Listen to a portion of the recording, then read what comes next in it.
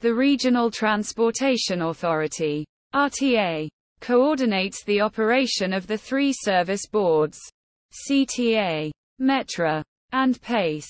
The Chicago Transit Authority, CTA, handles public transportation in the city of Chicago and a few adjacent suburbs outside of the Chicago city limits.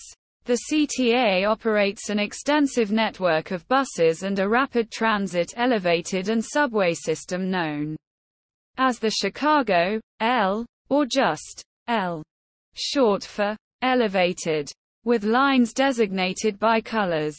These rapid transit lines also serve both Midway and O'Hare airports. The CTA S rail lines consist of the red, blue, green, orange, brown, purple, pink, and yellow lines. Both the red and blue lines offer 24-hour service which makes Chicago one of a handful of cities around the world, and one of two in the United States, the other being New York City, to offer rail service 24 hours a day, every day of the year, within the city's limits. Metra the nation's second most used passenger regional rail network. Operates an 11-line commuter rail service in Chicago and throughout the Chicago suburbs. The Metra Electric Line shares its trackage with Northern Indiana Commuter Transportation District's South Shore Line, which provides commuter service between South Bend and Chicago.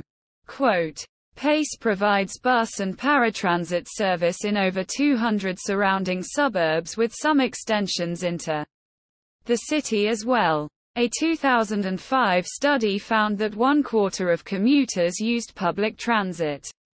Greyhound Lines provides intercity bus service to and from the city. And Chicago is also the hub for the Midwest network of Megabus. North America